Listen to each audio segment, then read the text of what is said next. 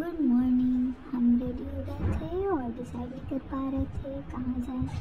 फिर हम चाय नाश्ता किए और फाइनली प्लेस डिसाइड हो गया और हम निकल पड़े अपने डेस्टिनेशन की ओर।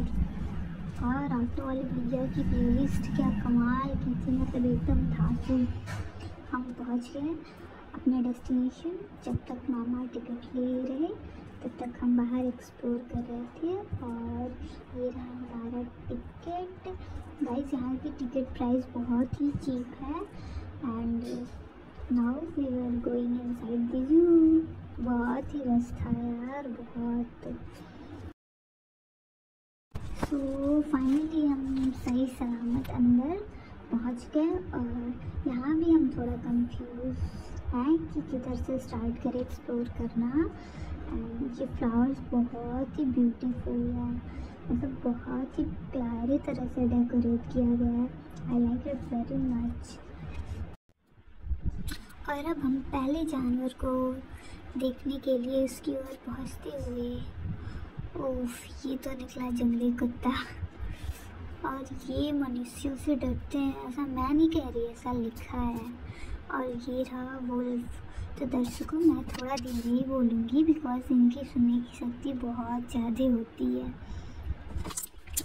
और अब हम अपने अगले मित्र की ओर बढ़ते हुए, ये हैं तेंदुआ। भाई साहब बहुत अंदर बैठे हैं, यार। कैमरे में क्लियर दिख नहीं पा रहा। एंड अब हम अपने पूर्वजों की ओर बढ़ते हुए guys biologically we are much more closely related to chimpanzees but guys chimpanzee तो दिखा ही नहीं। शायद वो कहीं नीचे था। या सो रहा होगा। हमें नहीं देखा। फिर हम अपने अगले मित्र की ओर बढ़े, जो कि हिमालयन गिद्ध था। भाई, गिद्ध तो हम देखे थे। बस बहुत बड़े बड़े थे। इतने बड़े नहीं देखे थे, बट छोटे देखे थे। और फिर हम जंगल के राजा लॉयन बाय द वे मैं फ़र्स्ट टाइम लॉयन को सामने से देखी। और फिर हमने वाइट टाइगर देखा। सामने से देखने की खुशी अलग थी।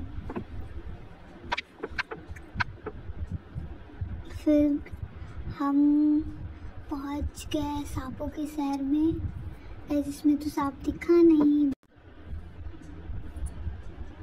फिर इन सब में कुछ नहीं था गाइस पता नहीं, दिखा तो नहीं कुछ। फिर ये रहा अजगर। बहुत ही अंदर थे यार। गाइस मेरी कैमरा क्वालिटी अच्छी नहीं थी सो अच्छे से नहीं आ पाई है फ़ोटो क्लियरिटी नहीं है। और ये रहा सैंड गोवा सैंड गोवा मनी मंचेस रहा वाले लोग फ़ोटो, बाहर होता तब बताता। वैसे यहाँ बहुत सारे वैरायटी के स्नैक्स थे गाइस मैं तो मतलब पहली बार इतने मोटे मोटे सांपों को देखी थी। सच में, अपनी आँखों से देख के बहुत अच्छा लग रहा था। ये मोटी मोटी काले काले, एकदम डरावने से थे भाई। एंड देन हम सांपों की शहर से बाहर निकले और थोड़े बहुत पिक्चर्स क्लिक किए। एंड फिर हम आगे बढ़ गए। जैसे हम फैमिली फ़ंक्शन में गए थे तो हम सारे ही मतलब आधे से ज़्यादा लोग जुआ गए थे बिन बताए इधर। ये है ब्लैक डक बताया ना कैमरा क्वालिटी इशू है तो अच्छे से दिख नहीं रहा होगा। बहुत ही जूमिंग करी तो थोड़े बहुत काले काले दिखे फिर बहुत सारी वैरायटी के बर्ड्स भी थी वहाँ पे। हमारे पास टाइम कम था सो हम बहुत अच्छे से एक्सप्लोर नहीं कर पाए। और ये रहे डांसिंग डियर बट एक ने भी डांस नहीं करा। एक ने भी नहीं। रात को फ़ंक्शन अटेंड किया था गई हम बहुत ज़्यादा थके हुए थे। इसकी वजह से मैं बहुत अच्छे से रिकॉर्ड भी नहीं कर पाई हूँ कुछ। और कैसे हिप्पोपोटामस का शायद रिकॉर्ड नहीं करी हूँ। और ये हाँ वाइट पिकॉक बहुत ही प्रिटी लग रहा था। फिर हमने पार्क पाइन देखा and jungle cat porcupine वगैरह तो मैं देखी थी वैसे। एंड फाइनली हम बोटिंग के लिए निकले। एंड फिर बहुत टाइम बाद हमारी बारी आई। फिर हमने बोटिंग किया। गैस बहुत मस्ती करी। और इसके भी टिकट बहुत ज़्यादा एक्सपेंसिव नहीं थी। बहुत ही चीप थी। टिकट प्राइस ठीक थी वहाँ की। मज़ा आया वैसे।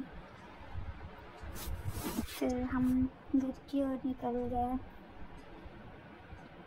हम पूरा जू एक्सप्लोर नहीं कर पाए, इसी बात का दुख है। क्योंकि हम बहुत लेट आए थे, जू एज लवर्स के लिए बहुत ही सूटेबल प्लेस थी, बेझिझक होके जाए। और गाइस वीडियो अच्छी लगी हो तो please hit the like button and subscribe to my channel thanks for watching bye